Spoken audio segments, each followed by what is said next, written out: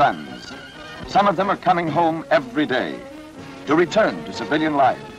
Their war job ended because of sufficient war service points, age, or disabilities. They must be thoroughly checked physically. They must leave with a full knowledge of all the rights and benefits a grateful government plans for the lads of the Army, Navy, all the services.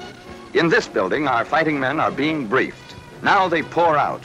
They've just been briefed for the last time, not for bombs away over Tokyo, but last instructions for a full life at home. Every returnee and his dependents should have copies of this booklet.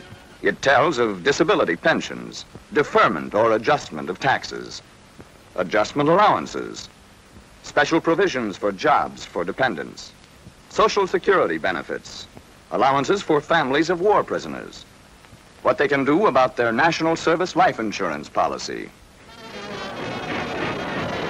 Our sons, who shook hands with death in Belgium, who've seen their buddies machine gunned at Leyte, or their arms shot off at Luzon.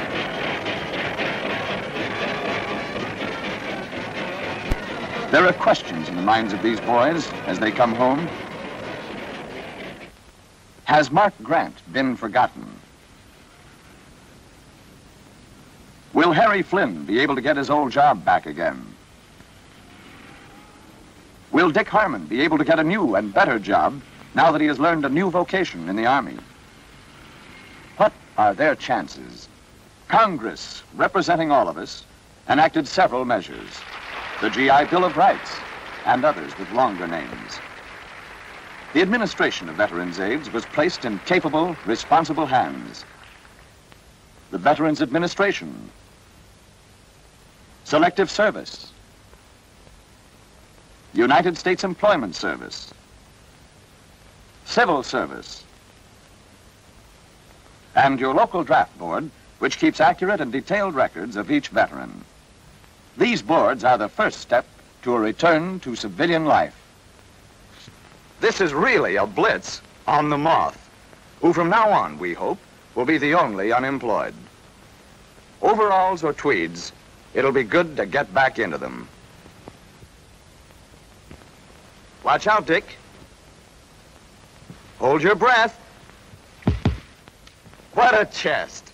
On K rations, too. Looks like some of that mustering out pay will go for some new clothes. Last war, it was a bonus years later. This time, it's cash in hand. Don't forget that service button, Dick. That's your badge of honor, son. It shows an honorable discharge from this man's army. Now, let's head for your old draft board. Or the one nearest your new home.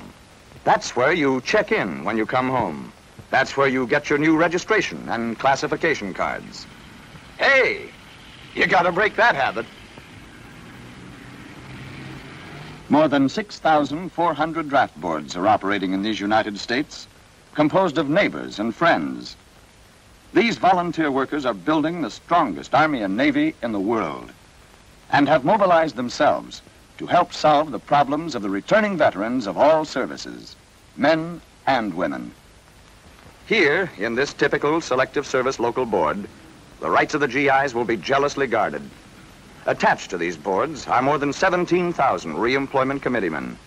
Reemployment means jobs.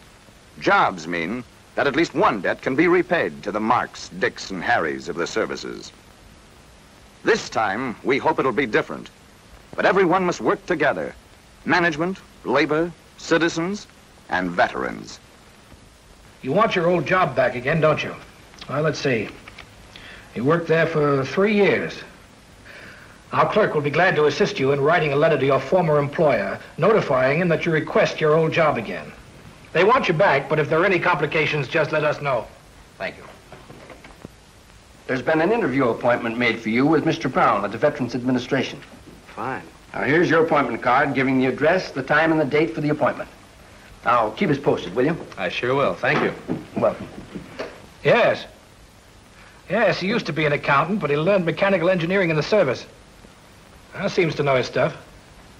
Okay, 11 o'clock tomorrow. See Mr. George, United States Employment Service Office. on Orange Drive. The United States Employment Service. Here, too, veterans are given priority in new jobs.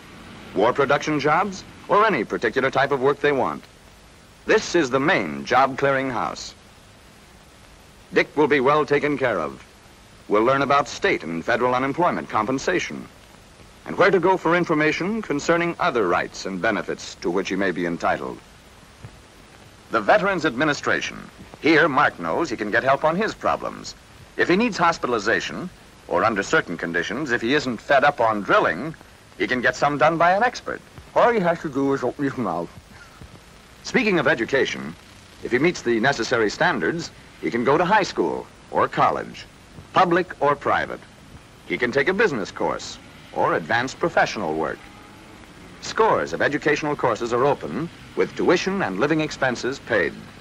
The hopes of our lawmakers are coming true. Veterans Aid and the GI Bill are functioning. Perhaps he wants to buy a home, a farm where things are peaceful, or go into business. Uncle Sam will guarantee a portion of his loan up to $2,000 if he can qualify.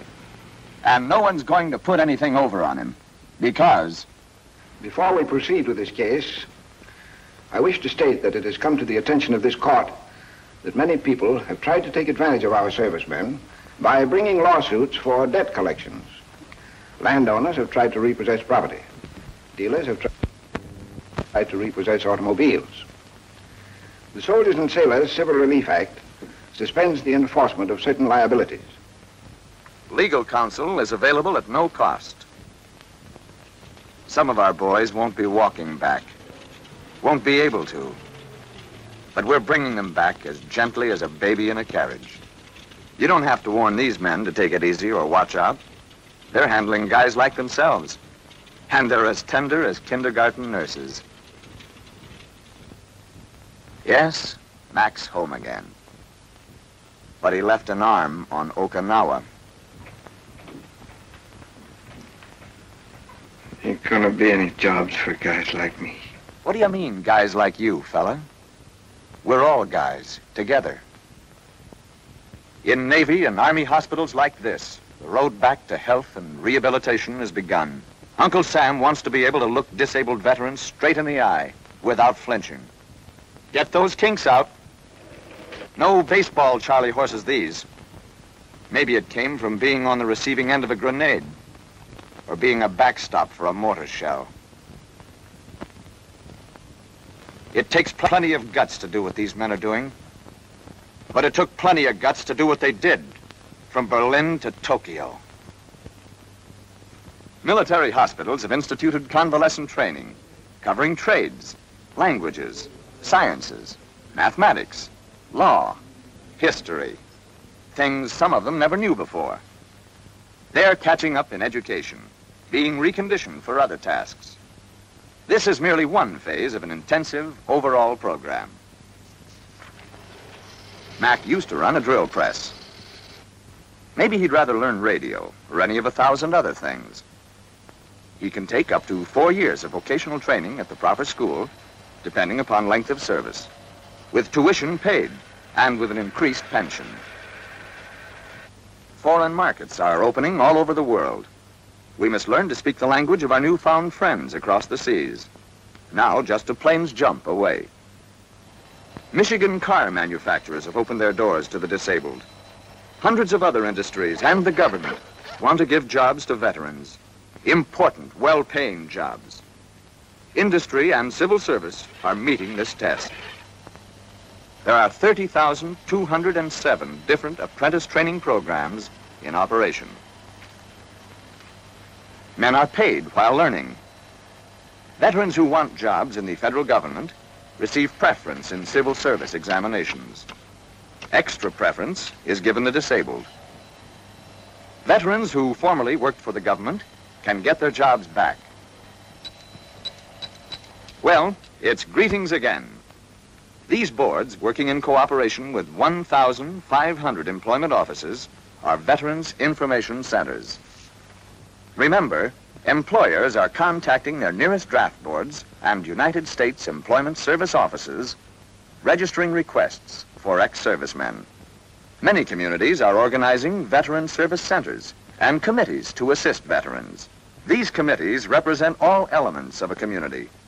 Businessmen, manufacturers, merchants, theater men, and others who will cooperate with the government agencies. And for what? So that Dick won't think it was all a waste of time. So that Harry will get his old job back again. And so Mark will find he is not the forgotten man. So this lad won't say, guys like me ain't got a chance. So that every mother's son and every mother's daughter who went to war will realize they did not fight in vain.